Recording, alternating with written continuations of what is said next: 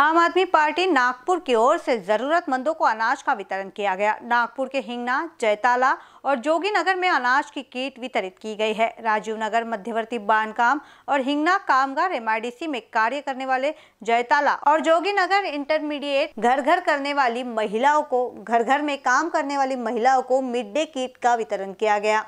देश में चल रही लॉकडाउन की परिस्थिति के चलते कई लोग जो दूसरे ग्रामीण क्षेत्रों से यहाँ काम करने आते हैं। साथ ही कुछ लोग जिनके पास राशन कार्ड है, वो तो ठीक है, लेकिन जिनके पास राशन कार्ड नहीं है, उन्हें अनाज संबंधित परेशानियों का सामना करना पड़ता है। ऐसे मजदूरों और ज़रूरतमंदों को कई संस्थाएँ और कार्यकर्ता सामने आ रहे हैं। ऐसे में आम आदमी पार्टी ने भी मदद का हाथ बढ़ाया है। इस कार्य में हर्षल हरखेड़े, हरीश प्रजापति, उमेश मौर्या, अनिल देशमुख, प्रफुल्ल राजपूत और विक्की बंसोड़ की टीम सहयोग कर रही है।